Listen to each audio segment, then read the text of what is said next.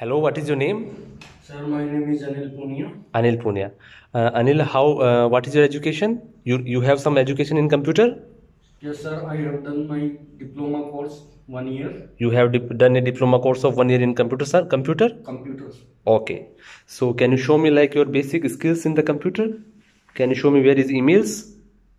Emails sir, in Outlook.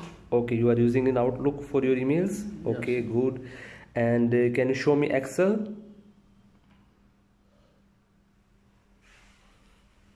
This You can also use mouse if you want. Okay. So can you please add all three uh, these three numbers?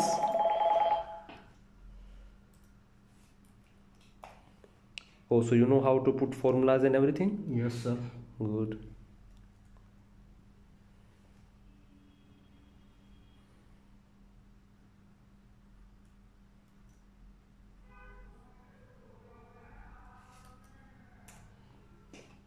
Okay, nice, nice. So you have a basic knowledge of computer. Yes.